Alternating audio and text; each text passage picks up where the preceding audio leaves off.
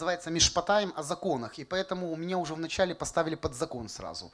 Мне сказали, у тебя есть точное время, и поэтому ни шаг ни влево, ни вправо. Я понял от Господа, что вот, ну, к чему готовишься, на то и нарываешься. Закон, он имеет какие-то рамки, поэтому давайте мы благословим Господа и будем благодарны Ему за Тору, которую Он нам дал. Бархует Адонай Амиворах, Барухата Адонай, Элохейну мелеха олам, ашер бахарбану миколями, венатан лану, эт тора то, бешем Ишуа хамашиях, амаим. Давайте мы присядем. Итак, на этой неделе мы будем рассматривать главу, которая называется Мишпатаим. Это книга, это книга, значит, э, исх, э, э, это книга Исход 20, 21 по 25 главу. И что же эта глава говорит? Вы знаете, самое интересное, что когда вы встречаетесь с человеком, который чем-то увлечен, то есть вы можете увидеть, что самая неинтересная тема в его словах будет звучать прикольно, ну, прекрасно и интересно. Вы встречаетесь, например, с физиком. Кто в школе любил физику?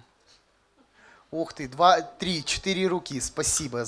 Я скажу честно, я любил ее, пока нас вел учитель по имени Лев Яковлевич. Лев Яковлевич нам рассказывал так физику, что мы просто, мы хотели просто слушать его. Он рассказывал нам историю, он рассказывал нам о тех великих физиках, как они жили, как они открывали эти изобретения, как они, ну, это было интересно. И тогда в этом плане мне нравилась физика. Но потом пришел человек, который просто начал говорить, и все, физика перестала ну, мне нравиться. Так же самое. Итак, о, это физик. Потом была история, ну, как бы, я один раз встретился с человеком, который металлургией занимается. Знаете, вот он работает на металлургическом комбинате. И он мне так рассказал э, вот именно о своей работе, что я просто взял, нашел книгу о металлургии, э, металловедении и начал изучать. Мне интересно стало. То есть он мне рассказал о Булате, о том, как варилась сталь, чугун, вот так, такие истории, что я просто был в захвате. Я думаю, как это так? Вот это, ну, человек любит свое дело. И когда человек любит свое дело, он расскажет о своем деле интересно и заставит других любить это дело. Итак, сегодня глава говорит о законах. Знаете, законы, они не популярны. Что же такое закон? Я сделал такое коротенькое э, обозначение. Закон – это правила, условия, руководство, которым пользуются люди в общении между собой в той или иной ситуации. То есть, давайте мы посмотрим так, что человек, он не создан быть одиноким. То есть Бог сотворил человека, чтобы иметь с ним общение, правильно? Бог сотворил Адаму Еву, потому что не было из всех созданий других существ, которым было интересно и которые были бы ну, с Адамом в каком-то одинаковом положении. Бог сотворил для себя Израиль, чтобы через него явить Мессию для всех других людей. И, и так, так же само, что если мы посмотрим на восточные религии, восточные религии, они безликие. То есть есть некий абсолют – безликий абсолют, к которому мы должны присоединиться. Человек уходит в медитацию, он теряет свою личность, он сливается с этим абсолютом и перестает существовать вообще как, как личность. То есть он попадает в нирвану. Наш Господь немножко по-другому. Ишуа, если мы посмотрим, он говорит о церкви как об одном организме. Он говорит, что мы все части его тела. Он глава, Церковь – это мы составляем церковь, да, вот как живые камни его строения. Помните, мы соединены какими-то связями. То есть, если положить кирпич вот так, а сверху, снизу, он со всех сторон, да, он объединен какими-то связями. То есть, ну, нельзя же положить просто кирпич и вот все, стена. То есть, стена состоит из кирпичиков, храм состоит из кирпичиков. Законы – это то, то есть, э, что соединяет вот эти все кирпичики между собой. Мы живем в социуме. Знаете, что такое социум? Да, я буду говорить это слово социум. Социум это социальная среда, это вот то, в чем мы живем, это институт нашей жизни, это общение, это семья, это работа, это государство, это законы, которые регулируют нашу жизнь. И получается, что многие говорят, знаете, есть анархия, да? анархия мать порядка. Мне очень нравится само выражение. Анархия – мать порядка. То есть понятно, что значит, но анархия, она тоже система. То есть анархия не может быть, если ну, анархию убрать из нее систему саму, анархия перестанет быть как, как, как, как система. То есть она тоже обуславливается своими законами. Значит, э, ну и знаете, еще я хочу просто сейчас с вами как бы немножко по, по, поиграть залом. Рассмотрим понятие еще, знаете, справедливо и правда. Да? Ну, знаете, мы часто апеллируем такими терминами. Ну, это несправедливо, это справедливо, это правда, это неправда, это не может быть правдой. Это правда и это справедливо. Ну, я не прав, нет? Я... О, это правда. Мы сейчас сделаем очень э, такой момент. Вы знаете, что самое смешно, что не смешно, а вот реально, что эти термины, они абстрактные и они не объективны. Ну, проверим. Возьмем заповедь да, которая, кстати, есть в этой главе Мишпатаем, и она же сразу встречается в Бритхадаша. «Почитай отца твоего и мать твою, чтобы продлить дни твои...» э, Еще раз. Это исход 20 глава, 12 стих. «Почитай отца твоего и мать твою, чтобы продлились дни твои на земле, которую Господь Бог твой дает тебе». И Ефесянам 6, 1, 3. Дети, повинуйтесь своим родителям в Господе, ибо сего требует справедливость. Почитай отца своего и мать, это первая заповедь с обетованием. Да будет тебе благо, и будешь долголетен на земле. Все мы знаем эту заповедь? Очень хорошо. То есть у нас уже исторически сложилось понимание, как мы можем исполнять эту заповедь. Да? Я сейчас буду что-то вам говорить, а вы мне будете помогать. Вы будете говорить, справедливо или несправедливо. Хорошо? Давайте начнем. Мы должны быть послушны родителям, когда они советуют нам, как поступать ну, в той или иной ситуации. Справедливо? Отлично. Уважать их мнение, порою жертвуя своим мнением. Справедливо? Кормить их, ухаживать за ними в старости. Справедливо? Нет, я не слышу. Справедливо? Когда придет зима и будет голод, родителей следует вывести из заселение и оставить их умирать на холоде. Справедливо? Это вы говорите несправедливо. А вот для родителей, жителей города, ну, а, э, острова Окинава еще каких-то 300 лет назад, даже меньше, 250 лет назад, если дети отказывались совершать это действие, это считалось высшим проявлением несправедливости по отношению к ним. Вот такая степень. То есть это, они просто этим самым говорили, что мы не почитаем наших родителей. И соплеменники, и родители могли просто... Это были японцы, это были жители... Нет, нет, нет, нет, я просто сейчас... Я еще не говорю о евреях. Я понимаю, что все здесь умные читают Библию. Я хочу, чтобы мы просто определились с терминами справедливо, несправедливо, закон, понимаете? Потому что закон, я же говорил, что он регулирует отношения между людьми. Но чтобы понять само понятие, как, как действует закон, мы должны понять, чего, что он вообще может, ну, к чему он ведет, понимаете? Потому что законы абстрактно. Что такое закон? Ну, что дышло, куда повернешь, туда и вышло. И вот для жителей Окинавы это было просто преступлением, если дети в холодную зиму не вывозили своих родителей из заселения. Родители сами одевались красиво, выходили говорили, сынок, вези меня. Потому что такое было время. Люди умирали, и чтобы спасти живых, молодых, они делали то же самое, что делали их родители. Это была историческая такая у них, ну, такая историческая традиция. Жестокая, не жестокая. Э, жестокая, конечно, я однозначно говорю. Но понимаете, да? Они считали, что это проявление. Родители умрут, чтобы жили дети. И дети, наученные этим примером, умирали для того, чтобы жили их дети. Вы понимаете? И это было справедливо для них, для нас это несправедливо. На островах, э, ну, Маркизские острова, это вы знаете, да? Маркизские острова, это Маркизские острова находятся в архипелаге среди, в среди, ну там в, ой, как же это называется архипелаг?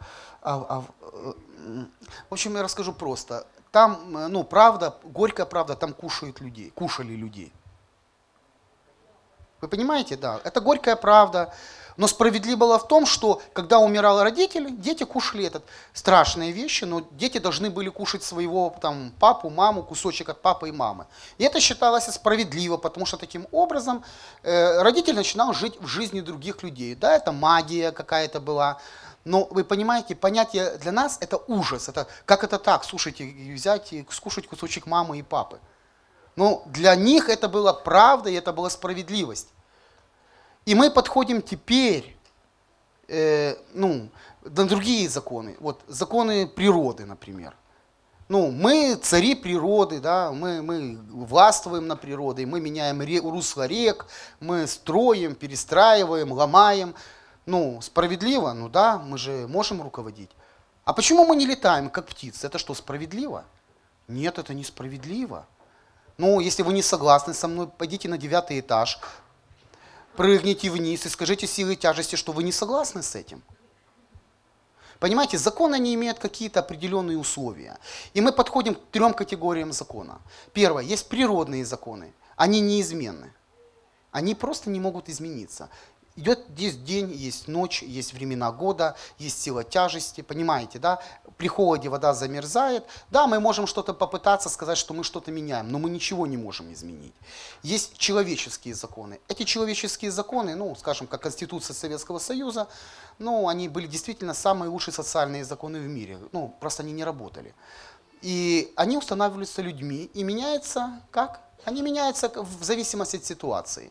И есть Божий закон – он является основным Божьим взглядом на устройство общества и взаимоотношения внутри него. Как мы можем понять Божий взгляд на то, что, как, как, как Он хочет что-то видеть? Он, он как-то обуславливает, ну, он дает условия, определенные условия чему-то. Итак, и знаете, очень часто этот термин закон, он э, очень неудобен тем, что люди просто не, ну, путают понятия, смыслы. Знаете, вот слышали такое выражение? Ты законник. А этот человек законник. Ах, какой ты законник. И проблема в чем? Потому что люди называют законом то, что не является законом. Они называют законом какие-то исполнения традиции, э, ну, например, определенной общины. Мы носим кипы, кто-то не носит кипы. Вот, а я взял и делал, ах ты законник, значит, понимаете? Вы понимаете меня, к чему я сейчас говорю? Тема действительно сложная, и можно вообще по этой теме говорить и говорить год. Но просто я попытался хотя бы что-то, чтобы вы просто поняли, что есть законы. И есть Божьи законы, которые важны. И эти Божьи законы, они должны регулировать нашу жизнь. Не законы какого-то социума, а наши законы. Божьи законы, которые давал, дал Бог. Итак, посмотрите, что именно в главе Мишпатаем Бог говорит о законах, которые и обуславливали жизнь Израиля как общины, а именно так, как ее видит Бог. Антисемитизм, я вам только маленький секрет открою, родился как реакция на Божьи законы, потому что Израиль отличался от других народов, потому что они делали то, чего не делали другие народы. Они приносили, ну понимаете, да, меня? То есть они поклонялись одному Богу. Богу, а было много богов, и они говорили, нет иных богов, кроме тебя. И язычники говорили, что это такое, как они посмели. Но Израиль, Израиль, стоя на Божьем повелении, уже отличался, понимаете? И, и это было, знаете, как когда-то вот, э, э, ну, вот брат Сергей говорил, что есть устав караульной службы, да, там есть караульный должен делать, делать, а потом расшифровка идет. И то же самое, не поклоняться другим богам. И Бог раскрывает, что надо делать, чтобы не поклоняться другим богам. Не ходить на капище, не принимать всяких там разных, э, разных людей, не принимать всяких таких, ну, не знаю, как их называют, не принимать колдунов, там уничтожение колдунов идет. Почитать родителей. Опять же, я вам рассказывал, я специально рассказал эту историю, может, которую вас шокировала, про Окинаву, про этих, э, про Маркизские острова. Для нас это шок. Но Бог говорит в своем Писании, как мы должны правильно выполнять Его законы. Он не говорит нам, что делайте, как вы считаете лучше, делайте, как вам нравится, делайте, как вам удобно. Он говорит, вы должны поступать именно так, как я вам говорю. И это правильно. И вы помните, когда Аман пришел к царю, вот опять к Пуриму мы подходим, пришел к царю, что он сказал? Он не сказал, что эти евреи, он говорит, и сказал Аман царю Артаксерцу, есть один народ, разбросанный и рассеянный между народами по всем областям царства твоего. И законы их отличны от законов всех народов, и законов царя они не выполняют. Он говорит конкретно законы. Понимаете? То есть то, что действительно ну, отличало этот народ от других народов. Ну и я не буду говорить там про законы благодать, потому что это другая тема совсем. Знаете, потом мы живем по закону или по благодати, там, это другая тема. Я хочу просто, чтобы мы посмотрели на законы. Смотрите, вот уже подойдем, не пос... у меня осталось просто совсем 5 минут, и надо закончить. И вы, если мы посмотрим на законы Божьи, через них мы можем видеть характер Божий. Посмотрите на законы Божьи и законы других там каких-то там государств. Бог, Он говорит, будьте святы, как я свят. Он не говорит, ну, делайте, что хотите, а я вас буду любить. Нет, ну, говорит так Бог, нет? Не, я понимаю, что у вас другая Библия, у меня другая Библия, наверное. Бог говорит, будьте святы, потому что я свят. Он говорит, не приближайтесь к, ну, там, если, у, у, если вол твоего, э, осел твоего соперника, твоего неприятеля упал, помоги ему разгрузить вместе с ним. Ого, да в другом по закону надо было прирезать того и осла, и неприятеля, и забрать все себе. Нормально. По закону, как бы там, там, если тебе должник, а законы рабства, ну там должник, ну по другим законам, что если там неприятель вступал на твою территорию, и ты мог оказать на него какое-то влияние, ты мог спокойно его убить. И тебе за это ничего не было. То есть Господь наоборот говорит, не убивай, примирись, доколе не зашел солнце, примирись с соперником твоим. Что и говорится дальше? А давайте посмотрим про рабство. Законы рабов это вообще уникально. Мы не представляем себе, что такое рабство в те времена было. В Древнем Египте мы говорили, что э, рабы были живыми мертвецами, то есть им ничего не принадлежало, они были готовы в любой момент умереть. В Древнем Риме рабы были живыми табуретками, живыми орудиями труда, без личности, без наз... им ломали их, то есть я мог там, не знаю, поломать вам табуретку и убить раба, и за табуретку я должен был заплатить, а за раба, ну, ну, так получилось.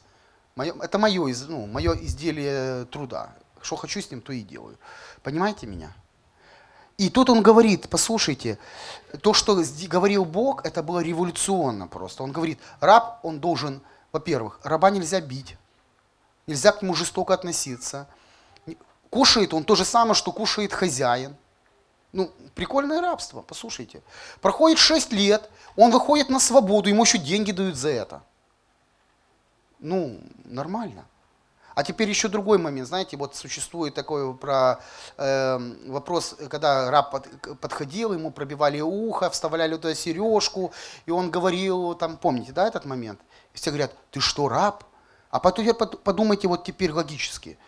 Человек в рабстве, лишен всего, проходит 6 лет, он выходит на седьмой год спокойно на свободу, а он говорит, нет, нет, нет, нет, ребят, я не хочу выходить на свободу.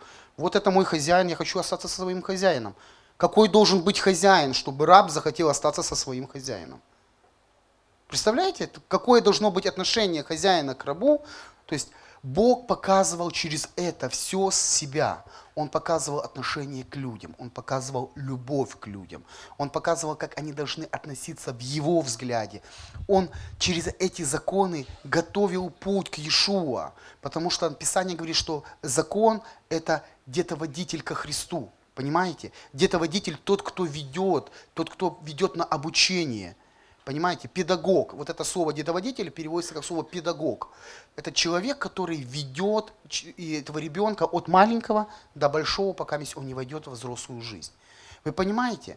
И отношение к закону, как к чему-то вот такому, а, закон, мама моя.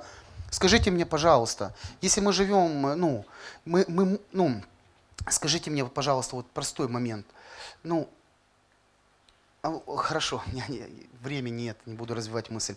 И последнее.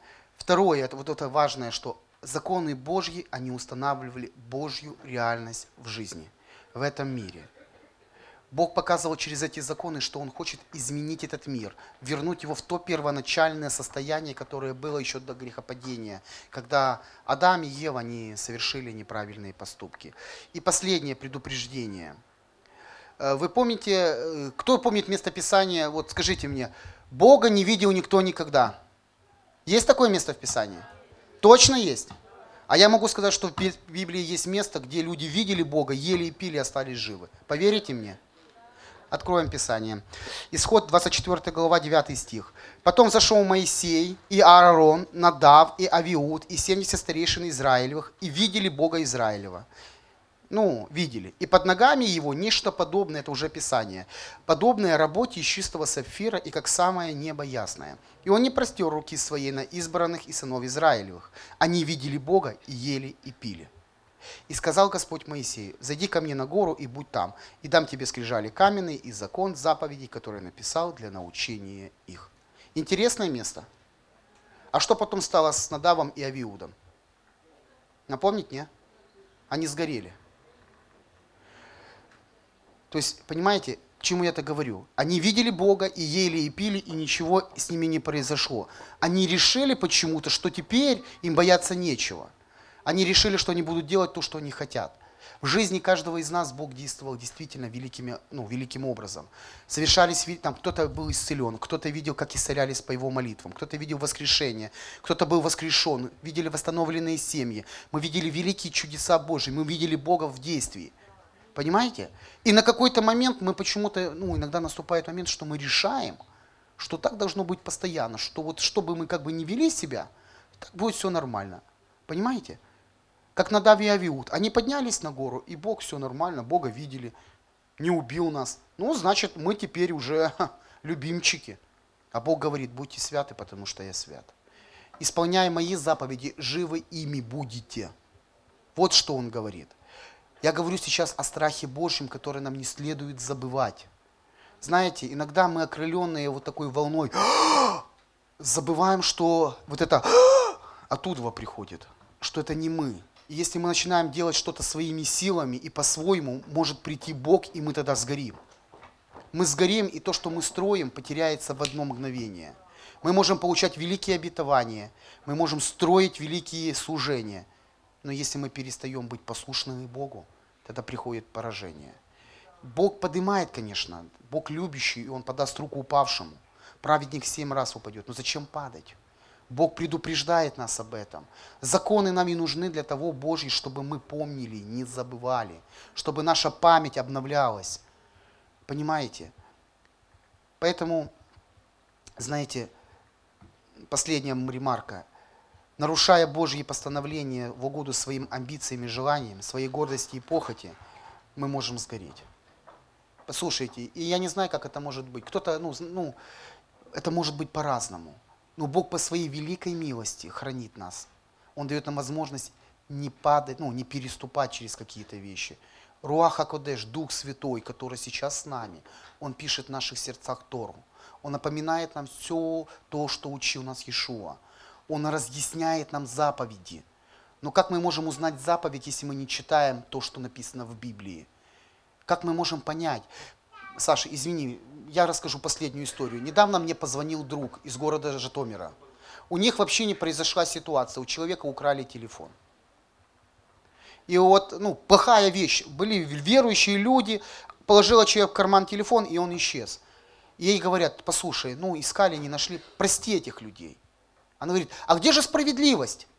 Где надо наказать вора? Говорит, послушай, ну прости, ну, прости этого человека. А где же справедливость? И тогда ну, брат один поднимается и говорит, вы знаете, ну, справедливость будет в том, что на следующем служении мы соберем деньги и купим ей новый телефон. А правда будет в том, что, простив этого человека, ты откроешь Богу возможность ну, действовать в жизни этого человека. Понимаете? Потому что мы иногда не разрешаем Богу делать в наших жизнях что-то. Вот такая, ну, момент насчет справедливости – благодати милости. Поэтому, Господь, я прошу, чтобы Ты дал нам действительно читать Твой закон, чтобы быть им живы. Чтобы, твой, чтобы Ты, Руаха Кодеш, Дух Святой, помогал нам открываться в нем. И, Боже, пусть Твоя радость, она не прекращается. Во имя Ишуа. Аминь.